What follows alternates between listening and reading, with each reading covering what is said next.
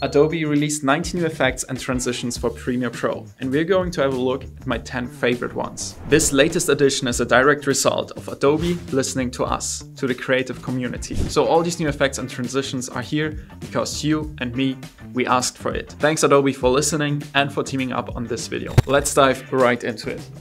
To easily access the new effects and transitions, go to Window, Extensions, and Film Impact Dashboard. And the first effect I want to show you is under Lights and Blurs FX. And here you can find the volumetric rays FX. Just select your clip and click Apply. Now you can adjust, for example, the intensity. This is how strong the light rays will be visible. With highlights only, you can control which luminance area will be affected.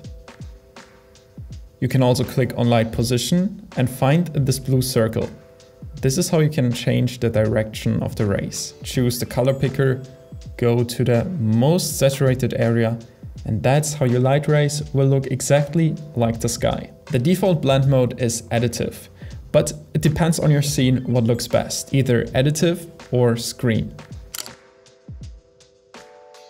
This effect works best when you have a specific area in your video which is really bright, because here for example, if the ocean would be really bright as well, the rays would start from the ocean too so that wouldn't work. But here we have one specific area on the right side, so it looks really, really good. The next effect is perfect for you if you forget your Pro Mist filter. All you have to do is click on your clip and select Edge Glow FX. I go to apply and this is what it does. It softens the edges between really bright and dark areas, like here. I will just increase the intensity and also here we can control the highlights a bit more. You can also adjust the color again and then increase the colorize value. So if you want like the sunset color, we can also pick the color right here and it will look really realistic. Just a little tip, there's the effect Wonder Glow FX, which is pretty similar. So if you don't like the result of the Edge Glow FX, make sure to try Wonder Glow and the other way around. One of the both effects will look pretty good when you have these contrasty luminance areas in your videos. The next effect is really interesting for you if you have a stable clip but you want to make it look more action-packed. So this clip for example is pretty smooth, it's been shot on a gimbal, but it would be nice to add some more action. So what I'm going to do is go to Effects, Motion FX and to Camera Shake.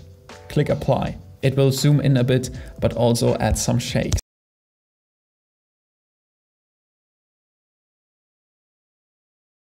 This of course also works on drone clips. Oh, here it could look really nice.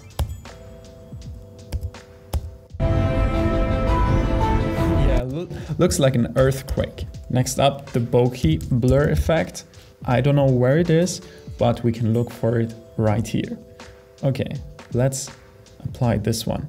And you can see the blur it adds really looks like realistic bokeh. So we could draw a mask around my face, make it a bit bigger, increase the feather and invert it.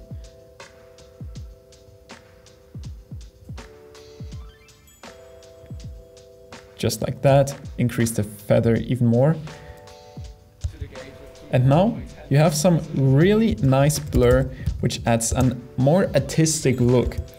Because of course it doesn't look fully real as long as as we use just a circle mask, but it gives a really nice and dreamy look. Now let's combine it with something.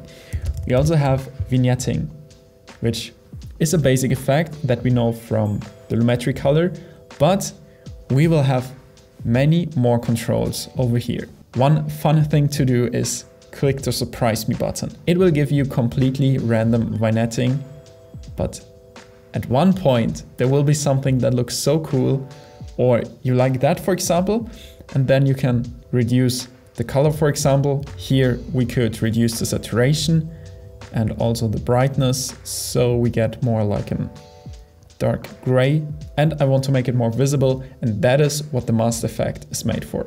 Now the next effect I also want to add it on this clip and then I will show you another clip as well.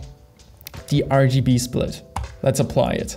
And you can see immediately it will add this really nice RGB splitting and we can also surprise ourselves like this. That's so cool. Let's go for this. And then again, use a mask, which we can invert, feather, and we can also adjust the mask opacity. So this will increase or decrease our effect effect. These effects are big upgrades for Adobe Premiere. Do you want to make something look like a game? Then wait for this effect. We can use this clip right here for it. And we're looking for the focus blur. Apply it. And now we adjust the focus type to tilt shift and decrease the height. And once the top and bottom of our video looks blurry, it looks like we're in a miniature world. We can also adjust the center point. That's so cool. The next effect is super intense, but I just have to show it to you because it can really look good on some scenes. Now it's called Echo Glow FX. And the best thing you can do with this effect is to click the surprise me button. Because I promise you, every time it will look completely different. And out of nowhere, you will figure out a completely different and new style. I just can't stop playing around with this.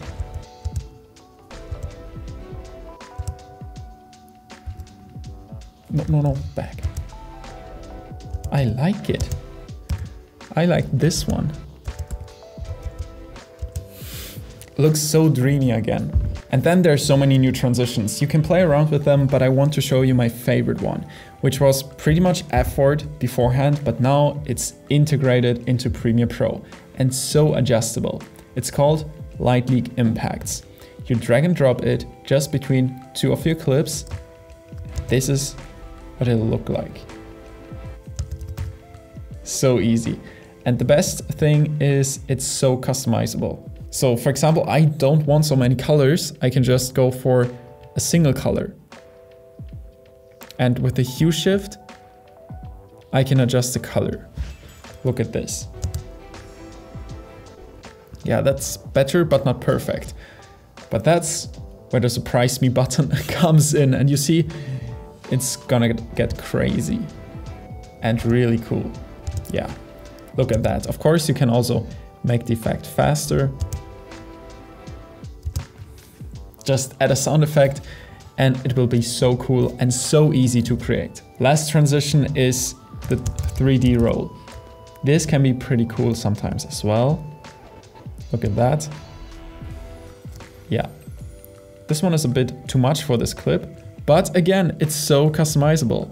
First of all, I want to make it shorter, and then we can choose the edge behavior, for example, repeat, or just, let's just press surprise me. And let's see where this is going. Yeah, you really have to make this work with the camera movement that you're doing. So for example, if in a second clip you go to the right with your camera, you will have to make this effect go to the left. So swipe the video to the left so you go to the right. You, you get what I'm saying? That's where the magic comes in with this effect. Which one is your favorite new effect or transition? Share it in the comments. Maybe it's even one that I didn't show you. So I'm excited for your input. And I'll try to use them. Find a free trial to Premiere Pro in the description and happy editing.